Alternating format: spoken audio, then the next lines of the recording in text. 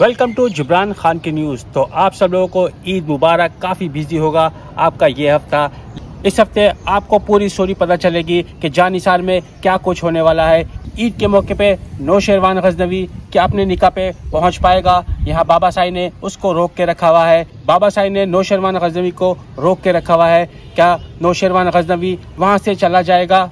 यहाँ दुआ इंतज़ार में बैठी है कि नौशरवान गजनवी कब पहुंचेगा और यहाँ निकाह स्टार्ट होगा। क्या दुआ का ये निकाह हो पाएगा? क्या दुआ को दोबारा धोखा मिलने वाला है? और यहाँ जहरा आपा काफ़ी टाउन कर रही हैं। दुआ को कि वो अब तक नहीं आया और यहाँ मौलवी साहब भी बोल रहे हैं कि निकाह जल्दी करें। आपका दूल्हा अब तक पहुँचा नहीं है। क्या ये निकाह हो पाएगा अभी कि नहीं?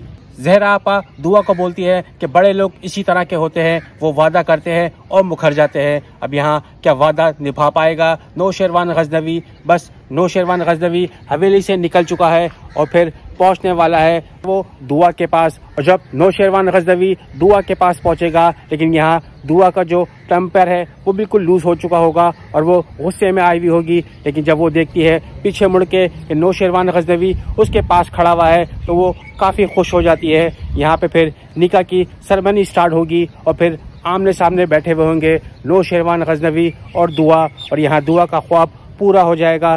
दुआ और नौ शेरवान गजनवी एक हो चुके हैं निकाह हो चुका है और यहाँ अब तैयारी हो रही है रुखसती की। दुआ की रुखसती कर दी गई है और यहाँ नौशेरवान गजनवी अपनी गाड़ी में बिठाल के लेके जा रहा है। नौशेरवान गजनवी और दुआ के साथ क्या कुछ होने वाला है? रास्ते के अंदर क्या जहरा आपा ने इनके ऊपर हमला करवाने के लिए लोग भेजे हैं। यहाँ पे गाड़ी फुल स्पीड में जा रही है और फिर यहाँ से एकदम से गाड़ी आती है नो शेरवान गजनवी के पास और फिर उसके ऊपर अटैक होता है फायरिंग होती है।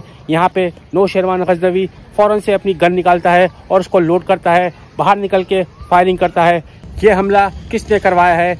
नो शेरवान गजनवी के निका में है कशमाला। कशमाला ये चाहती थी कि दुआ को जान से मरवा के और फिर इसके दरमियान कोई भी मसला नहीं होगा। नो शेरवान और कशमाला के दरमियान ये दोनों एक हो जाएँगे। ये चाहती थी कशमाला, लेकिन यहाँ पे क्या बच पाएगी? दुआ सर के ऊपर काफ़ी चोट आती है, लेकिन यहाँ बचा लेता है नो शेरवान गजनवी दुआ को। लेकिन यहाँ नो शेरवान गजनवी काफ़ी गुस्से में है कि ये हमला किसने करवाया है, वो नहीं जानता कि ये कशमाला ने हमला करवाया है। और अगर ये बात पता चल गई नो शेरवान गजनवी को कि ये हमला कशमाला ने करवाया है तो फिर कशमाला का क्या हशर होने वाला है? नो शेरवान गजनवी और दुआ घर पहुँच चुके हैं। यहाँ मोहब्बत अब अरूज पे है। यहाँ अब क्या दूरियाँ इनकी बढ़ जाएँगी या फिर इन दोनों में काफ़ी मोहब्बत होगी? दुआ कि ये मोहब्बत एक्सेप्ट कर पाएगी। कशपाला ने जो हमला करवाया था, वो नाकाम हुआ है। ये बात कर रही थी जिससे हमला करवाया था, लेकिन ये बात करते करते सारी बात सुन लेती है। अम्मा साई अम्मा साई को पता चल चुका है कि ये हमला कशमाला ने करवाया है। यहाँ दुआ की शादी हो चुकी है तो उसके पास पैसा, गाड़ी, हर चीज़ आ चुकी है और एक नाम भी मिल चुका है, काफ़ी बड़ा। अब यहाँ दुआ क्या, अपने घर पे जाएगी, यहाँ क्या उसका बाप उसको आने देगा, घर के अंदर, जब उसके बाप को पता चलेगा कि इसके पास तो इतना पैसा आ चुका है तो वो फिर मान जाएगा। और फिर मौलाना साहब ने भी यही बोला था कि अगर किसी से गलती हो जाए तो उसको माफ़ भी कर दिया जाता है। यहाँ इसका बाप इसको माफ़ कर देगा और यहाँ दुआ वापसी आ जाएगी अपने घर पे। दुआ को ये बात नहीं पता कि फराज की शादी इसकी बहन से हुई है, क्या इसकी मुलाकात हो पाएगी फराज से? और जब ये बात पता चलेगी नो शेरवान गजनवी को। तो यहाँ फराज का क्या हशर होने वाला है? दुआ और नो शेरवान गजनवी मिल के फराज का क्या हशर करने वाले हैं? ये सारी स्टोरी आपको आगे चल के पता चलेगी। लेकिन दुआ और नो शेरवान गजनवी में क्या मोहब्बत बढ़ने वाली है या फिर दूरियाँ बढ़ने वाली हैं?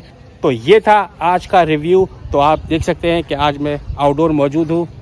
तो आज मैंने बोला, चलो, ईद का दिन है। तो थोड़ा इंजॉय करते हैं पार्क में जाते हैं और वहाँ पे थोड़ी वीडियो वगैरह बनाते हैं। तो ये खूबसूरत सा पार्क है।